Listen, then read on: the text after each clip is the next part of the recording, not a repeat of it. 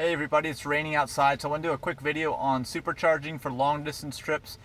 I've taken this trip now to Florida, I'm just about back, I've only got a couple stops left as you can see. And I want to just give you some hints and pointers if you haven't taken a long distance trip. When I say long distance, I mean at least two superchargers or more. Because if you don't do that many, you won't notice what I'm talking about. But you'll find that Tesla and the computer basically route you to stop at every, just about every stop assuming you need to stop to make it. Because like it didn't, it actually has two more stops for me here and does not list the other stop in between. There is another one because it says when I get there I'll only have 16%, but that's a common theme here with routing. It will get you to your destination and you'll have almost nothing left.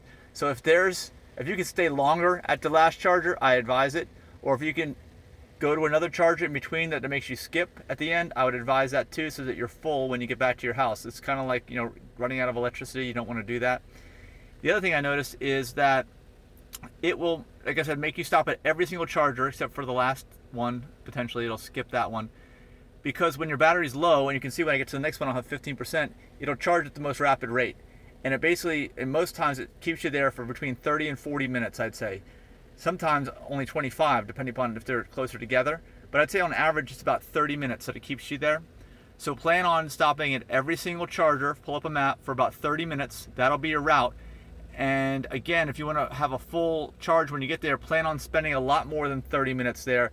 Plan on spending like an hour and a half at that last one if you want to juice up all the way. And actually this one's not the last one. It's actually um, the, the, second to last. So when I get to the last one, I won't need to spend an hour and a half. Maybe I'll only spend 45 minutes to an hour at that last one between there and my destination.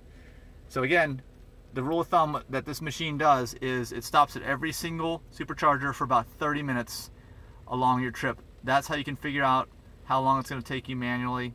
And it is longer than a normal vehicle for sure, but you definitely get more breaks. You can go to the bathroom, you can go shopping, you can do a whole bunch of things. So have fun with it.